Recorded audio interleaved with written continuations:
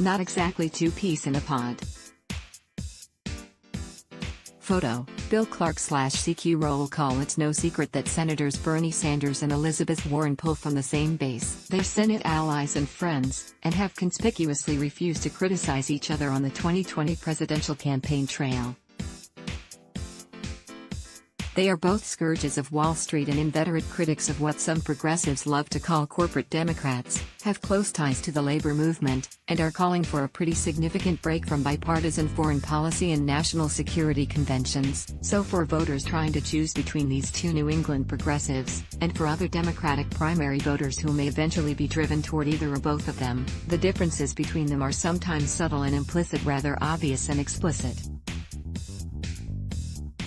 Aside from the obvious difference in gender, and a relatively small but perhaps significant difference in age, both are over 70, but only Sanders would turn 80 in a first term as president, they have stylistic differences that affect the nature of the coalitions they are assembling for 2020. Bernie with his fiery, no compromise approach famously does well among under 30 voters, and is doing better than he did in 2020 among non-white voters. Warren's more cerebral, policy-heavy pitch is getting her a big following among college-educated voters. Sanders calls himself a democratic socialist, while Warren argues she is trying to save capitalism.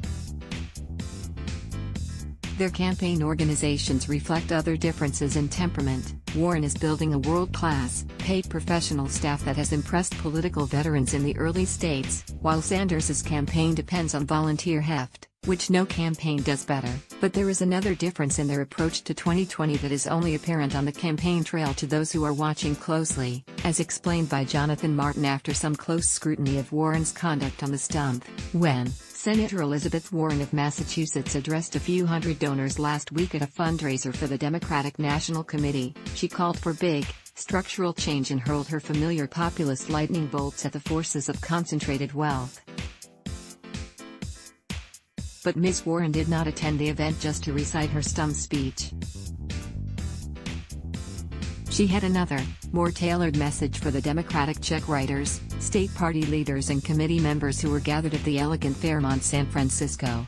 Last year, I was running for re-election, but I didn't hold back, she said, reminding attendees that in the midterms she had helped more than 160 congressional candidates and nearly 20 hopefuls in governors' races. In fact, I raised or gave more than $11 million helping get Democrats elected up and down the ballot around the country and sent contributions to all 50 state parties, the national committees and the redistricting fight. Her point was easy to grasp. While her liberal agenda may be further left than some in the Democratic establishment would prefer, she is a team player who is seeking to lead the party, not stage a hostile takeover of it. Martin provides a lot more detail about the quiet courtship Warren is carrying out aimed at national and state party operatives and elected officials. But the bigger picture it paints which differentiates Warren from Bernie Sanders is that Warren is unambiguously a Democrat, while Bernie's relationship with the party whose presidential nomination he is again seeking is, well, complicated. He is running for Senate re-election this year as an independent, and only running for president as a Democrat because the DNC is forcing him to make this choice.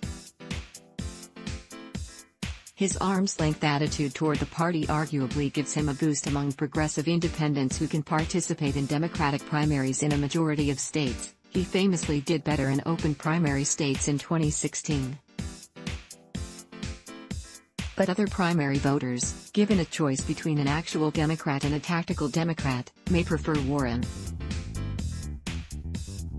It's not simply a matter of Warren's willingness to work in conjunction with the party organization in a general election, or even the emphasis she places on Democrats winning the Senate to give Trump's successor a better opportunity to govern. She also embraces the theory of change that treats Democratic members of Congress as the principal vehicle for the implementation of her agenda.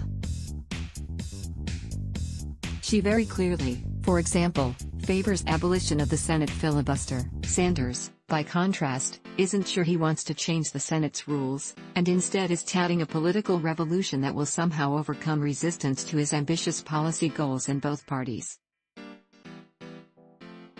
If you are a Democratic Party stalwart, at either the elite or the rank and file level, it may be as simple as favoring the candidate who wants a peaceful overhaul of the party agenda than the one who insists on a hostile takeover. And this could be Elizabeth Warren's secret weapon. Sign up for the Intelligencer newsletter daily news about the politics, business, and technology shaping our world. Terms and Privacy Notice By submitting your email, you agree to our Terms and Privacy Notice and to receive email correspondence from us. Let's block ads. Why?